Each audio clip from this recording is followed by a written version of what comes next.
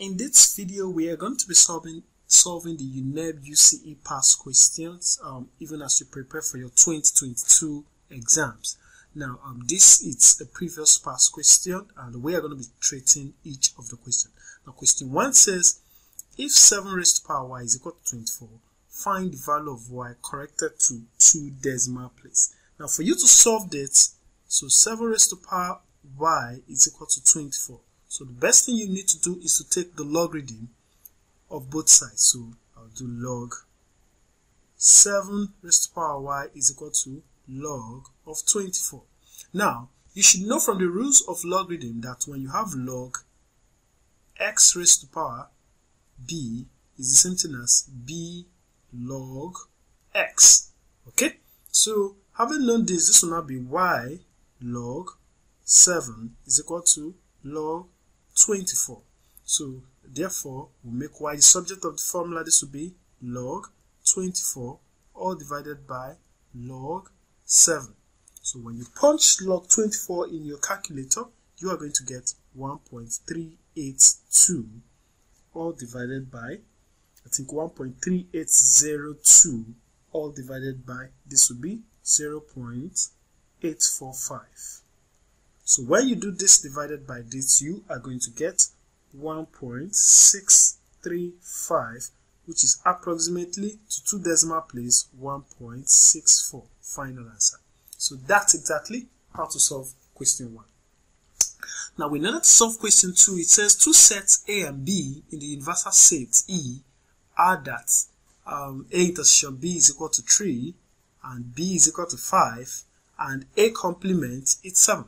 Use a Venn diagram to find A union B. Now, let's draw our Venn diagram. Okay, so this is my A, and this is going to be my B. So this will be my A, and this will be my B. Now, notice it says A intersection B is 3, so here it's going to be 3. Now, um, if B is 5, so uh, um, to get B, you're going to do um, that for you to get B only, B only will be n of B minus n of A intersection B, which will be, this will be um, 5 minus 3, that means B only will be 2. Now, it says A complement is 7, okay? So, take note of that. Then, uh, now, this is going to be our A union B complement. That's all the things that are not in A combined with B. Now, let's call, let's A union B complement, let it be X. Okay, so from here, we can see that our A complement is um, 7. Now, A complement means those elements that are not in A but can be found in the universal set. That's 7 is equal to, so I think it's going to be equal to x, which is also here, plus elements that can be found in B, that's um, 2. Therefore, x will be 7 minus 2, which will give us what? 5. So that means our A union B complement is equal to x, which is equal to 5. Question 3 says, in the diagram below, the line ROS cuts the x-axis at R and y-axis at S. Determine the equation of the line ROS. Now, notice the point at which it cuts this at S, comma y, it's going to be um, x here is 0, y, y is what? 4. So let's call this x1 and y1.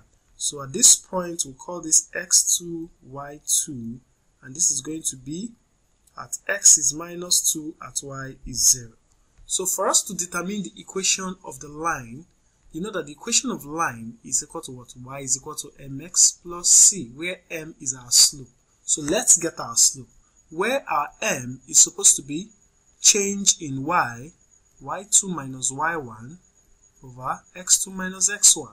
Now our y2 is 0 minus 4 and our x2 it's uh, minus 2 minus 0 this is going to give us our m is going to be minus 4 over minus 2 and that will give us 2 now having gotten our slope our y will be equal to that's 2x plus c. So um, in order to get our c which is our intercept um, we need to um, solve this equation at x comma y being 0 comma 4 so from here our y is 4 and x is 0 so we are going to put this into the equation. So this will be 4 is equal to 2 times 0 plus c. And from here you can get your c as 4 therefore you can represent your equation to be y equal to um, 2x plus 4 so this is the equation of your line so if you are just coming to this channel, don't forget to hit the subscribe button and don't forget to click on the notification bell so that you can get more videos from us. Question 4 says, express 0.8454 as a fraction. Now, um, x, let's equate x to be um, 0.84545. Okay?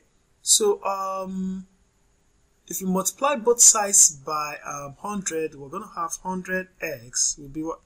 That's 0 point okay this would be now be 84.545 so I'm going to call this my equation 1 and I'll call this my equation 2 and I'll say equation 2 minus 1 so this is going to be 100 x minus x is equal to 84.545 minus 0.84545. Now when I do 100x minus um, x, I'm going to get what?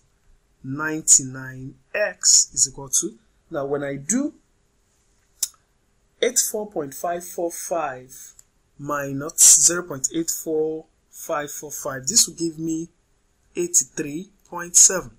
Now, from here, x is going to be what? Um, 83.7 all divided by 99. Now, in order to divide this, um, I'll take out the decimal place by multiplying both up and down by 10. So this will be times 10 times 10.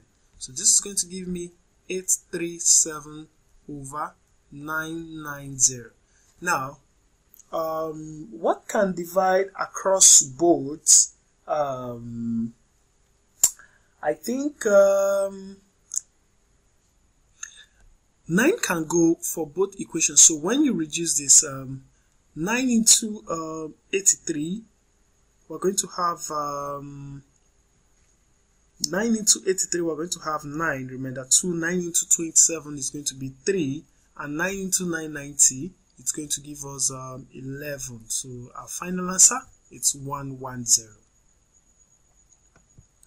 question 5 says the coordinate of points A and B are minus 5 and minus 3 and 1 comma 9 so this should be comma.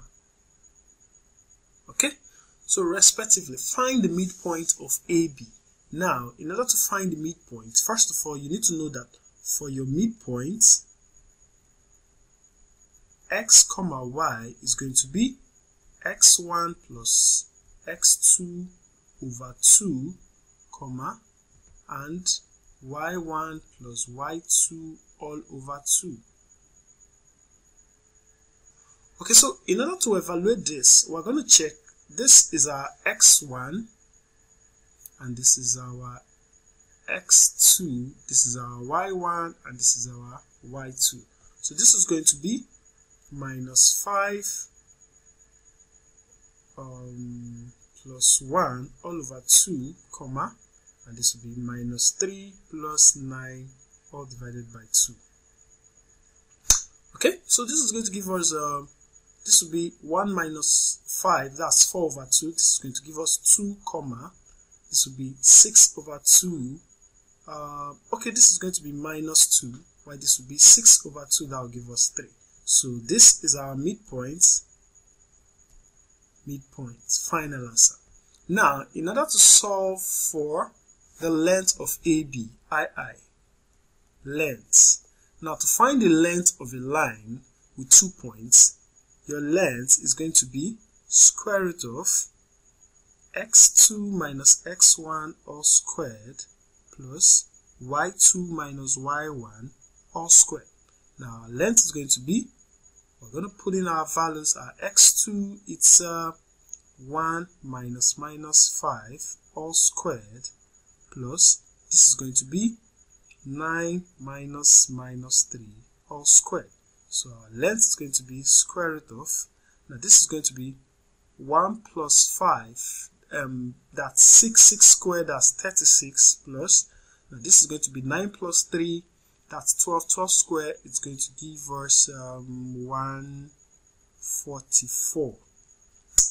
Okay, so um, from here, we can now do L will be equal to square root of when you sum these two up you are going to get um, 180 and L will be square root of 180 is going to give us 13.416 so that's our final answer